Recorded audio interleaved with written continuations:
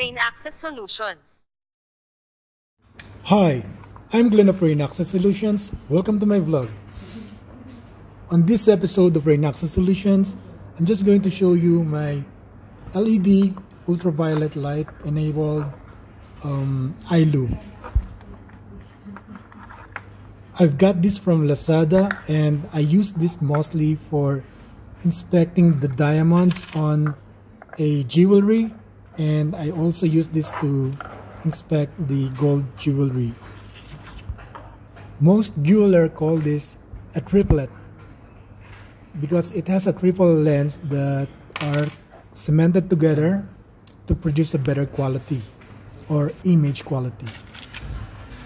There are double lenses but this is better than those. It came with a leather bag, so it's nice that you can keep this inside this bag and protect it from having scratches.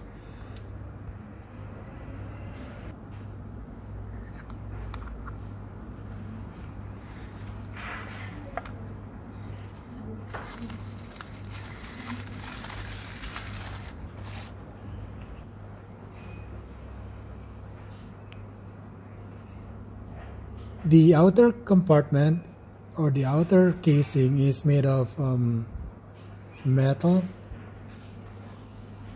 And it looks like it's um, stainless type of metal. So I'm just saying this is a quality uh, type of eye loupe although it's not really that expensive the price is competitive. And compared to those other eye loupes that doesn't have UV light and LED lights this is the best although I'm not really sure if the glass in this loupe is an acrylic or real glass but it looks to me that they are glass. And the LED light isn't just a small blob of light it's actually encircling the lens. And the UV light is just a small patch of light next to the um, battery compartment if you switch it to the left you activate the UV light.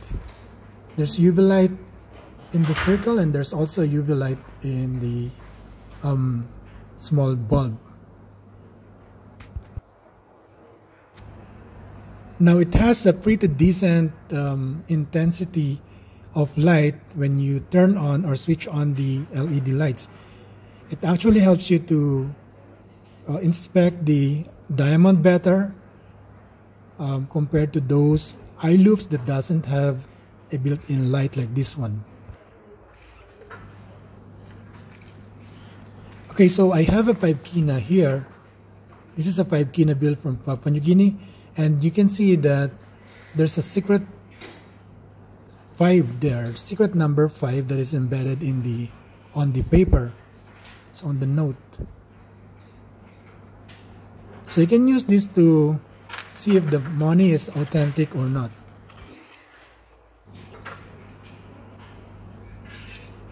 Now let's have a look at the battery compartment.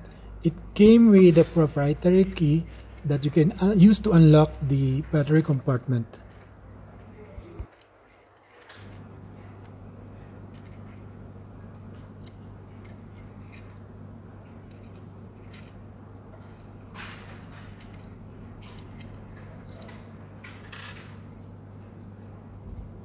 So inside that compartment are two batteries or three batteries. I don't want to take it out because it's too deep and I might um, cut some wire in the process but if the time comes that I had to replace the battery then I might take them off.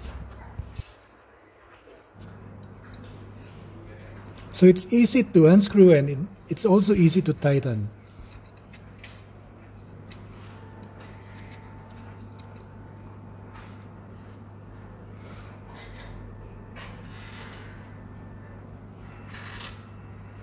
There.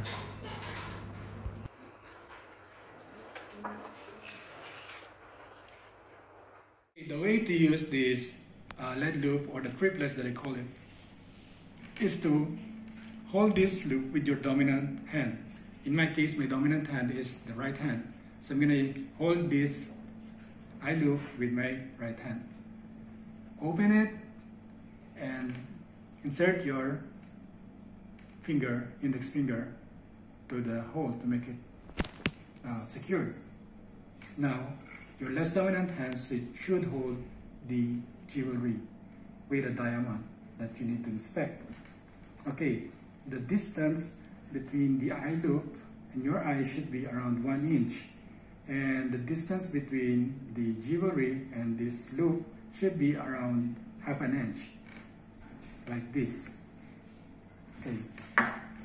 Uh, that also another things to consider is that you need to have your both hands to be in contact with each other like this to avoid the shaking. Um, and when you put the loupe uh, near to your eye, do not close the other eye. Both eyes should be open. And if necessary, switch on the, the LED light. Okay, so I'm going to demonstrate now how and slowly bring the jewelry closer to the eye loupe. So as you can see, I'm inspecting it now. Just avoid scratching the loupe lens with the diamond. So there you go, I can see the diamond clearly and then I can do this inspection. So what to inspect actually when you're inspecting the diamond, you need to inspect the cut.